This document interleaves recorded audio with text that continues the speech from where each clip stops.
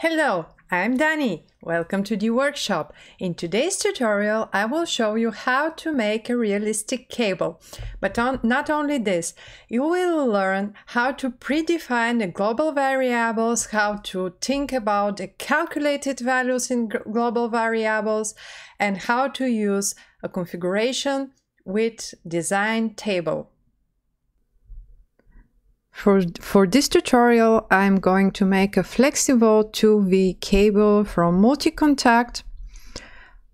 What we have to do first for our file is to make a definition for the conductor diameter, the outer diameter, and in the case with this cable, we will need also insulation thickness, but I will not use this value here.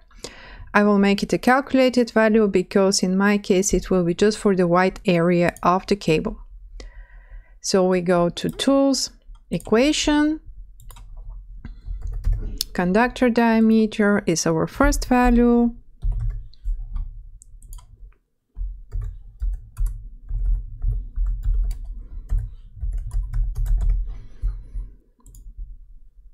Then we have outer diameter as our second value.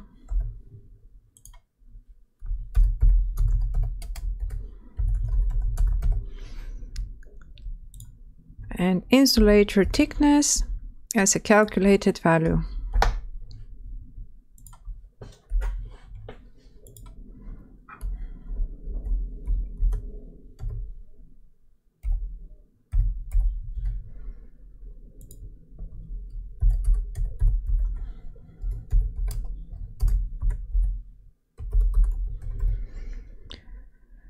When we are ready with our base definitions, we can start modeling our cable.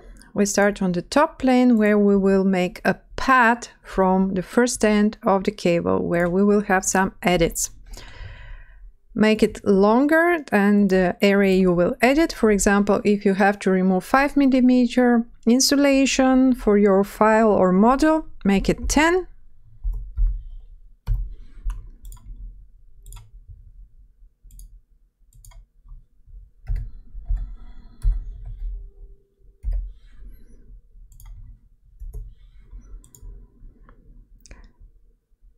Then again on the top plane we will make a circle where we, from this we will make a helix which will be representation of our winded cable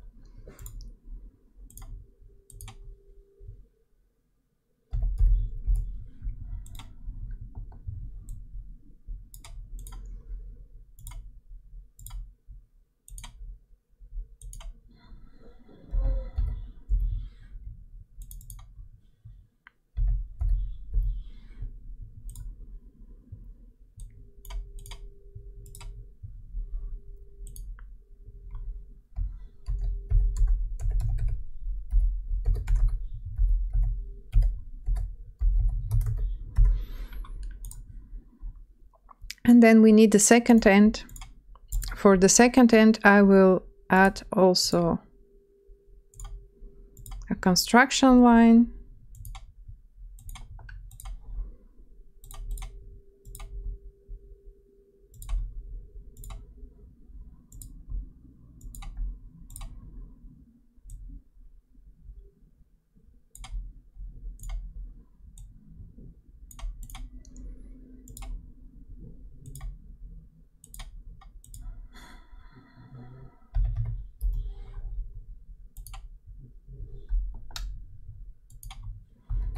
also we add a length.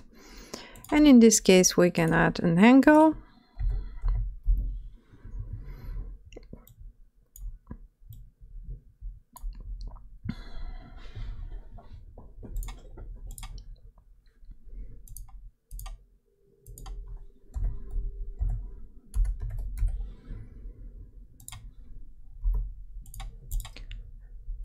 So next step will be to make our helix, make it with variable pitch. First will be on 2, second will be also on 2. Later I will change this So the important here to have more re realistic cable is to change the diameter. Also change it on a point 1.5. Add another height on 2.5 which will be 50 for example here we can make the pitch lower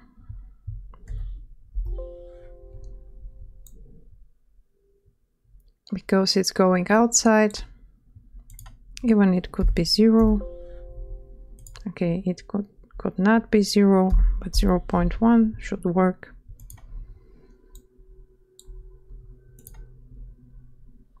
Forty-five, maybe fifty was too much. And our helix is ready. Next thing that we have to do is the base cable to create the swap uh, the path for it. So we make a 3d sketch convert our helix add spline attach to our main path and tangent also tangent to the helix. Make this for both ends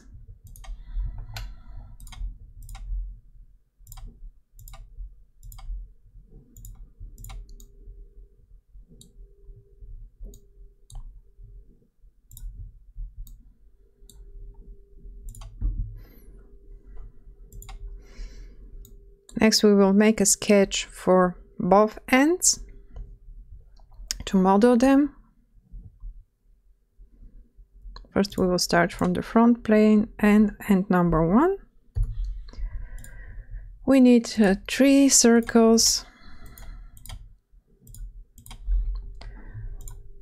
The inner one is the conductor diameter, which we will, ha will have already as a value. Then between the first and the second is our thickness of insulator. And the last one is the outer diameter.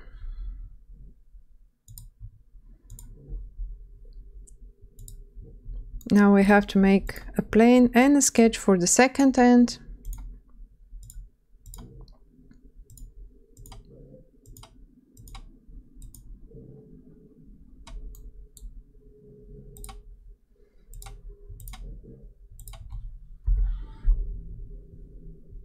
And we make exactly the same sketch.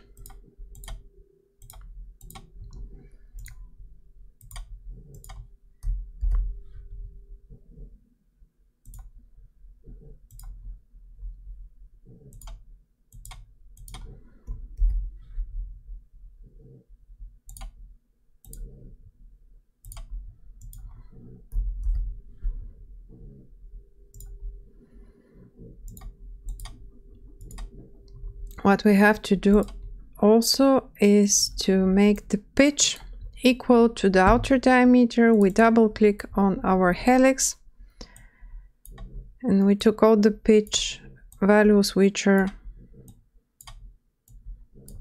equal to our diameter. And we chose the value to be outer diameter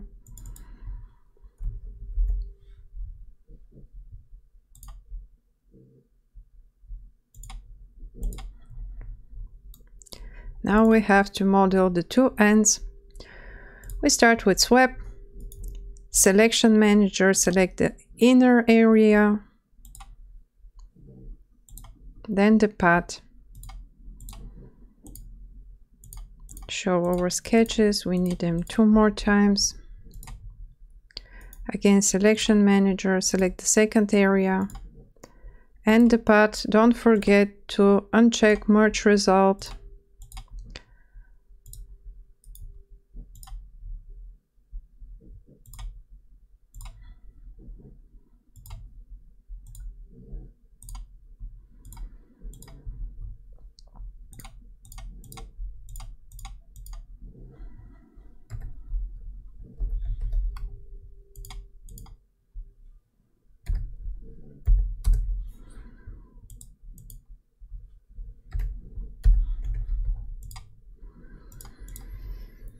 repeat the steps for the second end.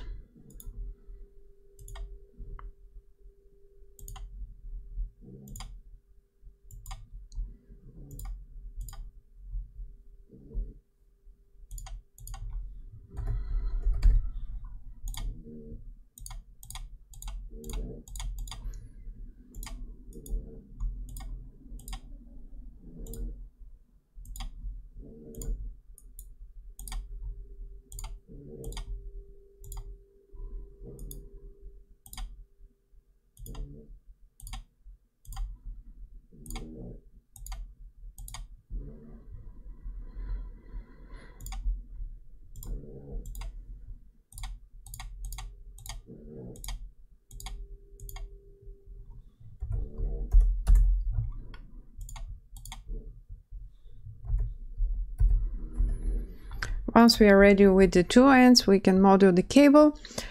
For the main part, we don't need all three bodies, so we will model just the outer diameter. We will take it directly from the part here and choose the path. And here we select to be merged with this and this part here only.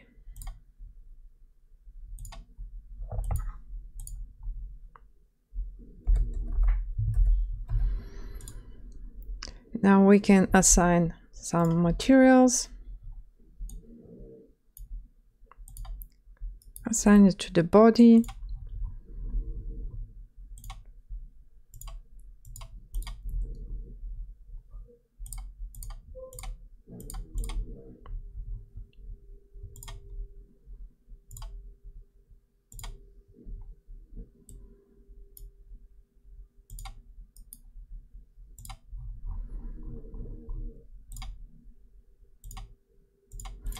Now when we want to make some edits, we can just use direct editing, move face, choose the faces we want to move, flip the direction, and here we have it, our copper and visible or the conductor. This is also how the cable is looking. It's not perfect, but it's really much more realistic than a simple, uh, without variables, uh, simple helix. Now what we have to do next is add at least one more configuration, our second one, so we can add also a design table and make it easier for the, the other models.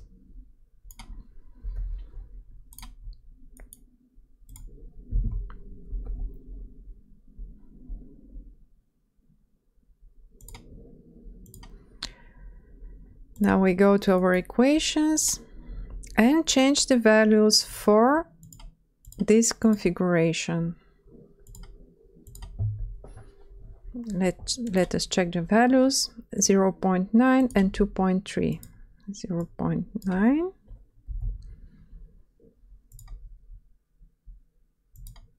and 2.3.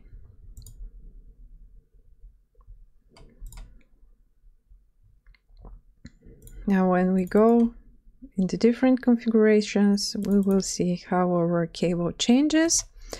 And from this step, it's easy to add more different sizes for the cable. All you have to do is insert table, design table. I will leave it to auto create. If you mark here block model edits, it will not allow you to change the values from within the model. If you leave it like this, you can change it inside the model and you don't have to enter in the design table every time. Uh, depending on how you work and access to your files, sometimes it's much better to use the block. I will not use it in this case. As you can see, first, uh, first two configurations that we have are already inside. The second is with wrong description. I will fix this.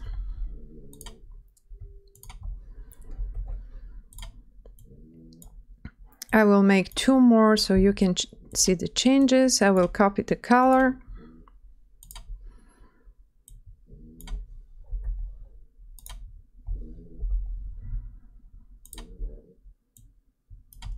So this is the conductor diameter is the same, the outer diameter is more. So we have to change only the outer diameter. Then we add the next one.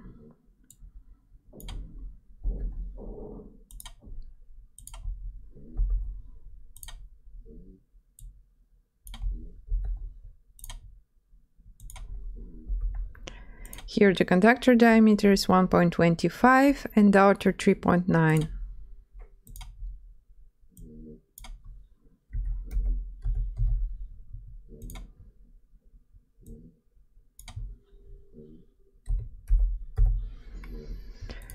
Once we are ready with our changes to the design table, we just click somewhere outside of it and it will add the configurations with the values that we have picked. Now I will go here just to see the changes. As you can see, the outer diameter was bigger only. Here both are bigger. And this is how you make it fast and easy. A cable, realistic looking with different configurations. One more thing is left. This is the color. As you can see, Okay, we have three main colors. It's black, red, and blue. You can make it with different configurations, but the easier way is to use a display state. I will just add a new display state, which will be 22. And I will change the color to red. And as you can see, you just change the displayed state and you have the different view of your cable. So our cable is ready. Now you can think for other ways in which you can use the information you have learned in this tutorial. Please don't forget to like the video, share your thoughts or questions in the comments and subscribe for the channel.